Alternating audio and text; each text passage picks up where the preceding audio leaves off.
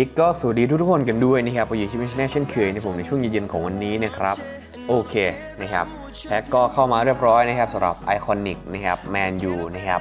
ตำนานก็ไปเปิดกันว่าอ่าไปเปิดกันเอาละกันเนาะนะครับสำหรับใครที่อยากได้นะครับ แต่ที่มิชแนลเนี่ยมาดูแล้วรู้สึกว่าจะมีแล้วนะครับสำหรับเดนไม่ใช่เดนนี่สิยอร์กนะครับผมได้ยอร์กมาแล้วจากการเปิดครั้งหนึ่ง นะครับตอนที่มันเป็นตัวทองทองนะครับก็เลยคิดว่าไม่ได้คิดจะเปิดนะครับผมโอเคเนาะนะครับก็เอาเป็นว่าไม่เปิดแล้วกันนะครับไม่คุ้มคอยพูดง่ายๆนะครับนะครับถ้าใครเป็นแฟนของแมนยูเนี่ยก็ควรจะเปิดดูแต่ว่าเราเป็นแฟนของบาซ่านะครับผมโอเค เดี๋ยวเรามาดูกันที่ครับ selection ที่จะมาในวันจันทร์นะครับทีมแรกก็จะเป็นครับของยูเว่นะครับเดี๋ยววันพรุ่งนี้เนี่ยจะมาอัปเดตข่าวสารให้กับทีมของ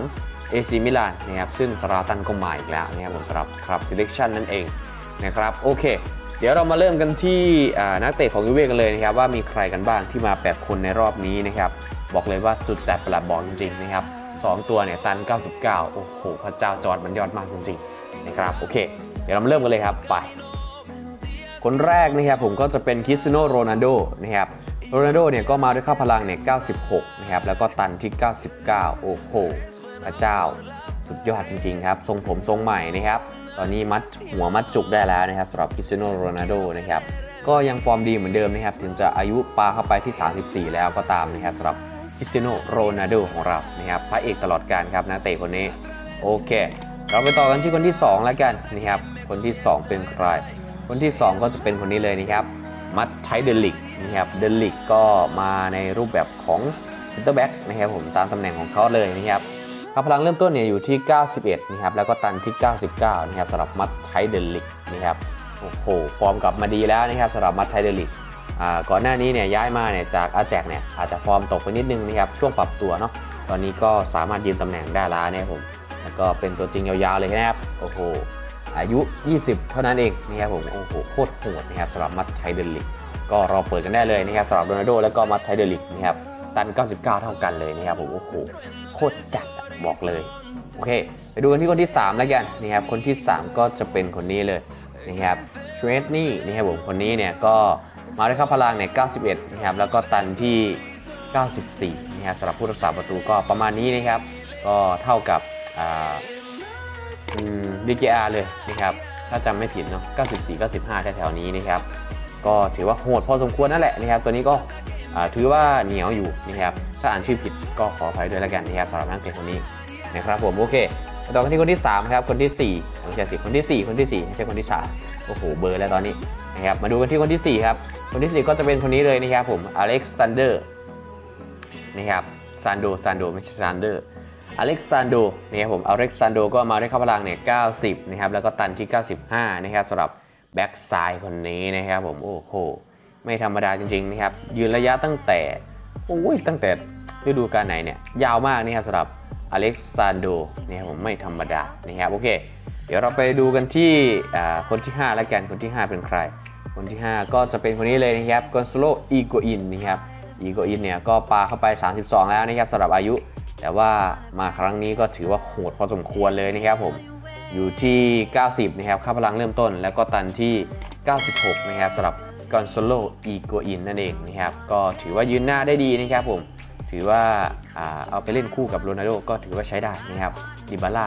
อ่าพวกนี้นะครับผมหน้าต่ำแล้วก็หน้าสูงนั่นเองนะครับโอเค เดี๋ยวเราไปต่อกันที่คนที่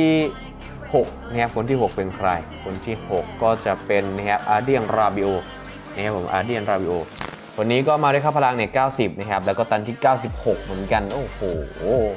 แม่งโคตรโหดอะแต่ละตัวนะครับวันนี้เล่นเป็นตำแหน่ง CMF นะครับสำหรับราบิโอก็ย้ายจาก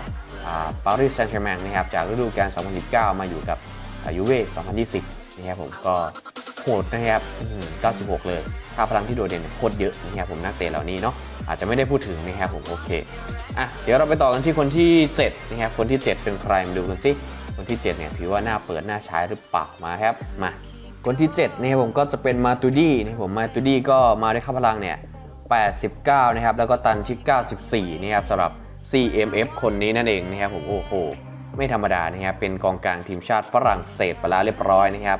ย้ายมาจากทีมไหนเนี่ยอืมไม่ได้ย้ายเนาะเขาอยู่ทีมนี้มาตลอดนะครับสำหรับมาตูดีก็เล่นดีนะครับสำหรับมาตูดีตั้งแต่ขึ้นบอลดำมาเนี่ยโอ้โหรู้สึกว่าโหดมากเลยนะครับ ตัวนี้ก็ตันอยู่ที่ 94 นะครับ เพื่อนๆก็ลองเปิดดูแล้วกันใครที่อยากได้มาตูดีเนี่ยผมโอเค เดี๋ยวเราไปจบกันที่คนสุดท้ายครับ คนสุดท้ายของค่ำคืนนี้เป็นใครมาดูกันสิ จัดไปคนสุดท้ายก็จะเป็นกูดาโดนะครับผมกูดาโดวันนี้ก็มาด้วยค่าพลังเนี่ย 89 นะครับ แล้วก็ตันที่ 94 นะครับสำหรับกูดาโดนะครับโอเค คนนี้ก็เล่นเป็นตำแหน่ง r อ f นะครับปีกต่ำรองลงมานะครับสามารถเล่นเป็นแบ็คได้ด้วยนะครับผม RB ก็เล่นได้นะครับสำหรับกัจาโดนะครับผมโอเคก็มาด้วยค่าพลังเนี่ย 89 นะครับ แล้วก็ตันที่ 94 นะครับสำหรับกัจาโดนะครับ โอเค